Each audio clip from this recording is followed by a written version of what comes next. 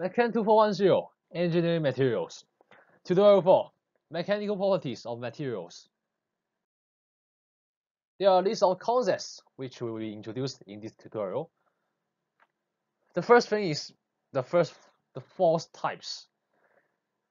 There are two types of force, normal force and shear force. Stress and strain types, normal stress and strain, and shear stress and strain. True stress and true strain stress and stress curve, and Hooke's law.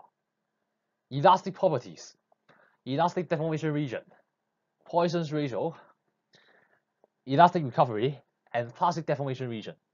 Yield stress, ductility, and toughness.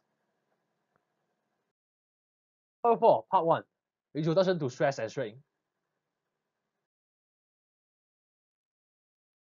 Based on the force direction to the plane, we can define it to be normal force or shear force. For normal force, the applied force is normal to the surface. It can be tension or compression.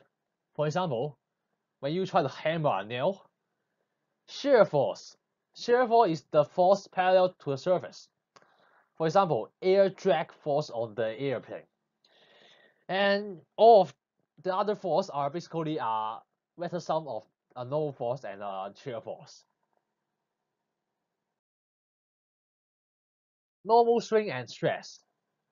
Engineering. In the engineering definition of the normal stress, is defined as sigma, sigma stands for the stress. P, P is the symbol for normal force.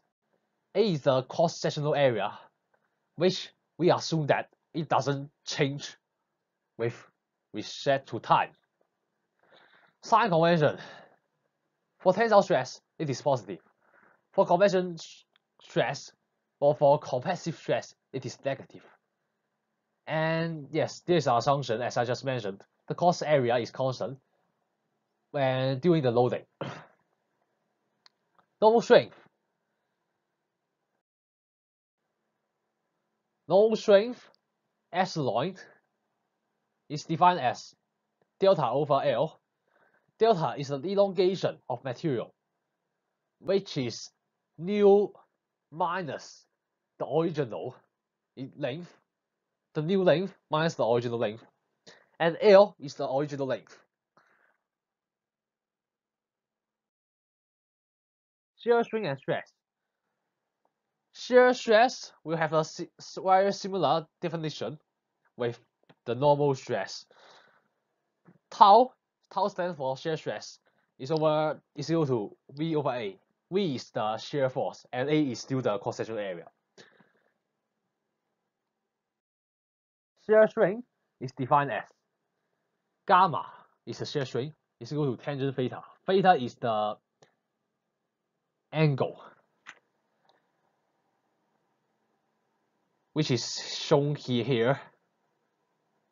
Here's the angle, the deformed angle of the material under the shear force. And you may refer the definition of shear stress and shear strain, no stress and no, no strain to the definition for the mechanical oh force force zero. And for the in terms of the sign convention for shear strain and stress, it is quite complicated.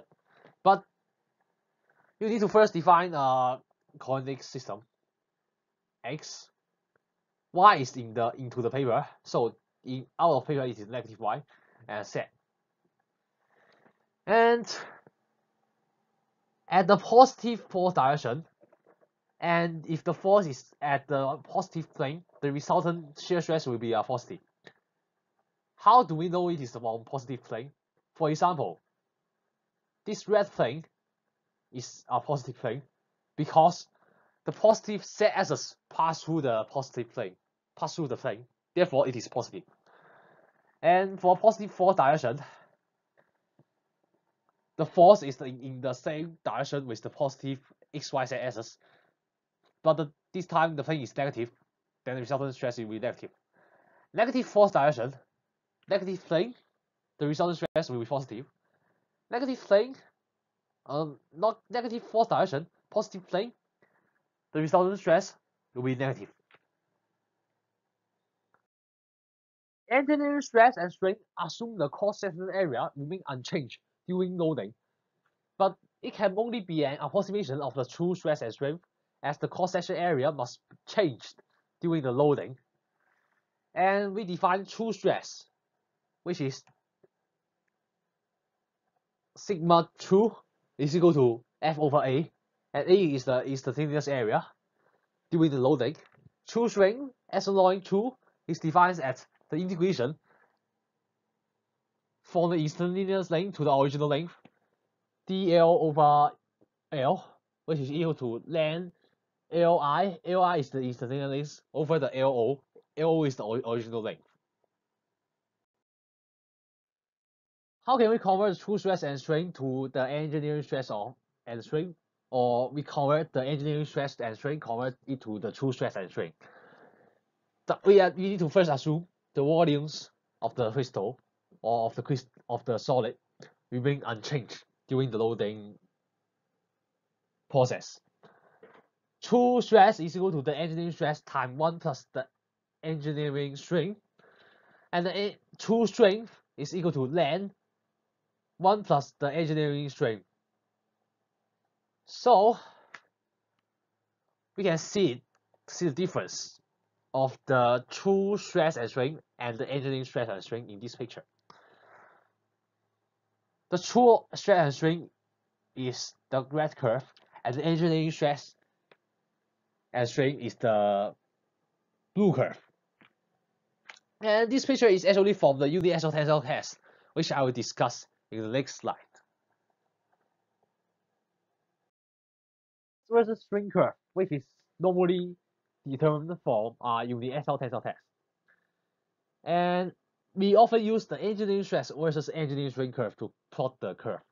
And there is several useful information we can extract from such curve and such graph. The first region, the blue region, is the elastic region, where you can see that the curve is basically a straight line, which is linear. And then afterwards, you first enter the proportional limit, which is the limit for which is the limit of the linear region. And after proportional limit, there will be the real stress. After the real stress, then you will enter the plastic region, where when the loading is released, the material can never be deformed into its can be never returned to its original shape without external force, which is the red region. And then it comes to the yielding, and then there is still a rise of stress value with regard to strain value, and we call it strain hardening region. And D is the ultimate stress value we can be applied before it finally fractured for the for this line for CE dot which is for uh brittle material for however for CVE it is uh ductile material and at the DE region the material itself will start necking necking which is the reduction uh significant reduction of the cross-sectional area. And then and finally at E it will fractured eventually